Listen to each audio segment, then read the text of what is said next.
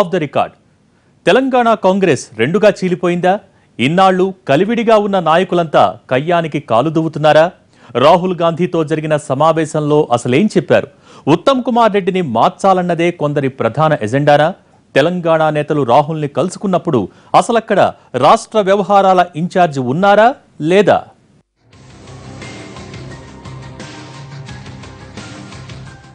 తెలంగాణ కాంగ్రెస్ పరిస్థితి కలహాల కాపురంలా తయారైంది. ఓవైపు ఎన్నికలు దగ్గర పడుతుంటే ప్రజల్లో పట్టు పెంచుకునేందుకు కలిసికట్టుగా ఉండాల్సిన నాయకులు పంతాలు పట్టింపులే ముఖ్యం అనుకుంటున్నారు. కయ్యానికి కాలు దూతున్నారు. పీసీసీ చీఫ్ ఉత్తమ్ కుమార్ రెడ్డిని కొందరు నేతలు టార్గెట్ చేసుకున్నట్లే కనిపిస్తోంది. ఈయనపైనే నాయకులు పార్టీ అధినాయకత్వానికి ఫిర్యాదు చేశారన్న ప్రచారం జరుగుతోంది. దీంతో పీసీసీ అధ్యక్షుడిని మార్చాలనే పట్టుదలతో కొందరు నేతలున్నట్లు చర్చ జరుగుతోంది. ఎన్నికలు దగ్గర పడుతున్న సమయంలో నాయకులంతా ఏకాభిప్రాయంతో ఉండటం కలిసికట్టుగా ఉద్యమించటం లాంటి మాటలు వేదికలకే పరిమితమయ్యాయి. నాయకుల మధ్య కలహాలు కొనసాగుతూనే ఉన్నాయనేలా ఉన్నాయి తాజా పరిణామాలు.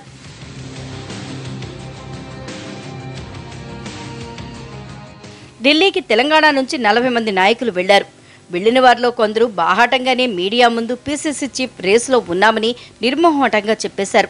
మూడు రోజుల ఢిల్లీ పర్యటన ముగించుకుని వచ్చిన రెండు రోజులకే ఇక్కడ నాయకులంతా జట్టుగా రాహుల్ గాంధీకి పుట్టినరోజు శుభాకాంక్షలు చెప్పేందుకు ఢిల్లీకి వెళ్ళామంటున్నారు పుట్టినరోజున శుభాకాంక్షలు చెప్పిన నాయకులు మర్నాడు కూడా రాహుల్ గాంధీ అపాయింట్మెంట్ తీసుకుని కలవడం అంటే వ్యూహాత్మకంగా వ్యవహరిస్తున్నారనే చర్చ జరుగుతోంది. పార్టీ కమిటీల జాబితాపై అధినాయకత్వం అంత సానుకూలంగా లేదనే చర్చ జరిగిన క్రమంలోనే నాయకులంతా ఢిల్లీకి క్యూ కట్టారు. ఎన్నికల్లో పార్టీ సీనియర్ నాయకులంతా కలిసి పనిచేయాలంటే అందరితో మీరే మాట్లాడాలని పార్టీ అధ్యక్షుడికే చెప్పేదాకా వచ్చింది అంటే టీ కాంగ్రెస్ నేతల మధ్య సమన్వయ లోపం ఏ రేంజ్లో ఉందో అర్థం చేసుకోవచ్చు.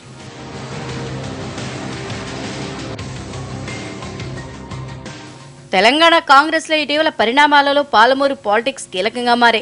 పాలమూరులో జైపాల్ రెడ్డి డీకే అరణ్ల మధ్య ఆధిపత్య పోరు నడుస్తోంది. నాగం జనార్దన్ రెడ్డి చేరికను వ్యతిరేకిస్తూ party MLC Damodar Reddy TRS కండువా కప్పుకున్నారు. దీనికి తోడు మరో ఇద్దరు మాజీ ఎమ్మెల్యేలు కూడా జంప్ అయ్యారు.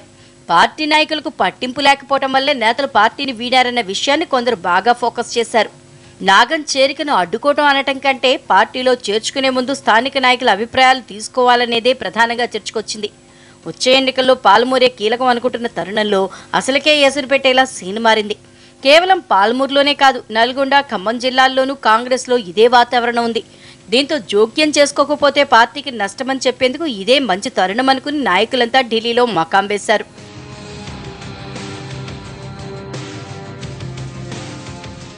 రాహుల్తో తెలంగాణ నేతల భేటీ సమయంలో పార్టీ రాష్ట్ర వ్యవహారాల ఇన్ఛార్జ్ కుంతియా ఉన్నారా? ఆయన సమక్షంలోనే అన్నీ మాట్లాడుకున్నారా అనే దానిపైన భిన్నవాదాలు వినిపిస్తున్నాయి. ఉత్తమ్ కుమార్ రెడ్డి మీద అధినాయకత్వానికి ఎవరూ ఫిర్యాదు చేయలేదంటోంది పీసీసీ చీఫ్ వర్గం. రాహుల్ని కలిసిన సమయంలో కుంతియా అక్కడే ఉన్నారని ఉత్తమ్ వర్గీయులు చెప్తుంటే మాట్లాడటం అయిపోయాకే కుంతియా అక్కడికి వచ్చారంటున్నారు ఉత్తమ్ని వ్యతిరేకిస్తున్న నేతలు. దీంతో ఇంత ముఖ్యమైన భేటీలో పార్టీ రాష్ట్ర వ్యవహారాల ఇన్ఛార్జ్ అక్కడ ఉన్నారా లేదా అనేది మరో ట్విస్ట్.